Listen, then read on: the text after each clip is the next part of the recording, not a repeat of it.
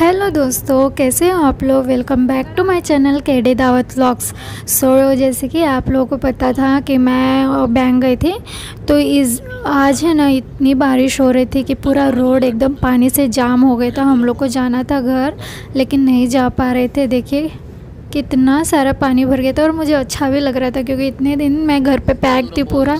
बच्चों को लेकर, घर का काम, अपना काम।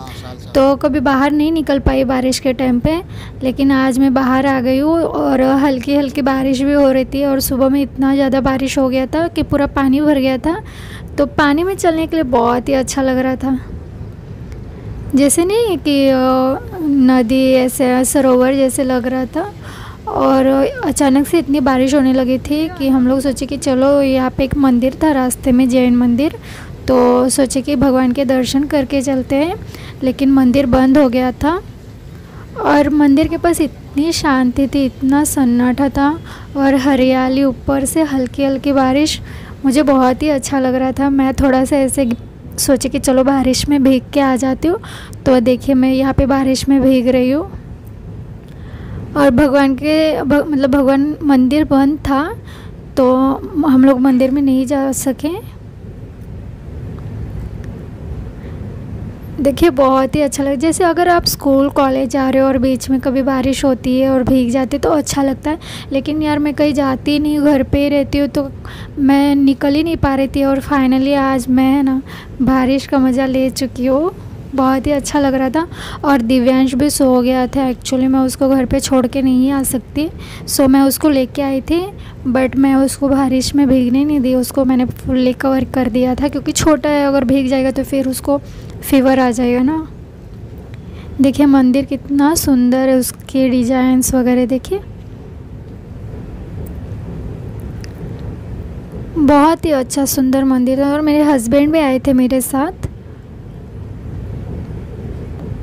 मैं आपको ये मंदिर का एक राउंड घुमा के दिखाती हूँ। आप लोगों को देखिए कितना सुंदर है।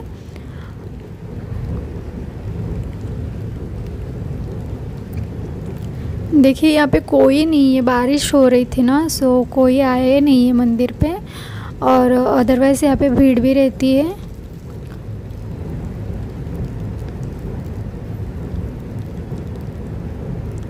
सो गाइस अगर आप लोगों को मेरी वीडियो पसंद आए तो लाइक करना और सब्सक्राइब नहीं किए तो प्लीज़ सब्सक्राइब करके मुझे सपोर्ट कीजिए।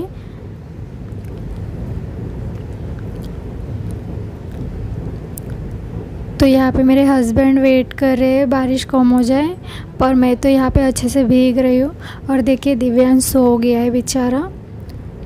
सो फाइनली हम लोग घर पे आ गए और कियांश का होमवर्क कंप्लीट करवाए। फिर उसने अपना होमवर्क कंप्लीट करने के बाद देखिए डांस कर रहा है। एक्चुअली इसको डांस बहुत ही पसंद है। यहाँ पे डांस क्लास भी है बट मैं उसको डांस क्लास नहीं भेजती हूँ, क्योंकि अभी अभी वो उसका एक्सीडेंट हुआ था और वन ईयर भी नहीं हो रहा है। उसने रिकवर तो कर लिया पूरा, फिर भी मैं थोड़ा सेफ्टी के लिए नहीं भेजती हूँ। थोड़े दिन के बाद मैं उसको डांस क्लास भी भेजूँगी। और यहाँ पे दिव्यांश खेल रहा है। इसको फ़ोन बहुत ही इंटरेस्टिंग लगता है। जब भी उसको फ़ोन ही चाहिए तो मैं उसको फ़ोन देती हूँ तो वो पूरा मतलब मुँह में रख के चबाने लगता है। तो मैं उसको कवर दे दी, उसके साथ खेलने लगा है। सो गाइस ये वीडियो यहीं पे एंड करती हूँ। फिर मिलते हैं नेक्स्ट वीडियो में। Until then bye